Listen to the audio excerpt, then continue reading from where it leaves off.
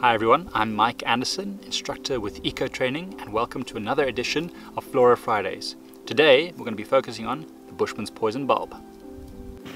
So, we were driving around and we found this dried Bushman's poison bulb and it's very very recognizable because it's incredibly fibrous so you can see here it's made up of loads and loads of fibers and um, obviously when it's when it's wet it's it's it's solid and filled with moisture but when it's dry it gets like this. And this is actually very useful.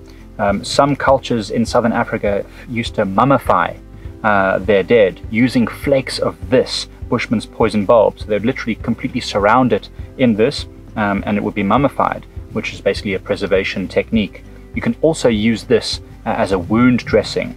It's very very light but also waterproof so you can put it on your skin like that, bind it with uh, some some sort of a, uh, paste, like a, like a wound dressing, cover over this, and it's a good way to keep it dry and clean, uh, especially when you're out in a dirty environment like this.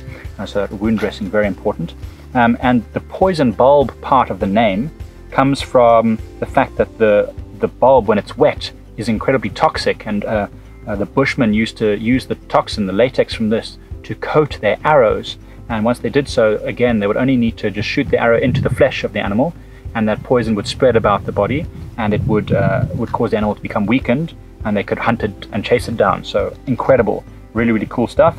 Uh, and dug, it was probably dug up by something like a porcupine. I hope you enjoyed today's Flora Friday video. If you'd like to see more just like that, please don't forget to hit the like and subscribe buttons, and don't forget to hit the little bell for notifications as well.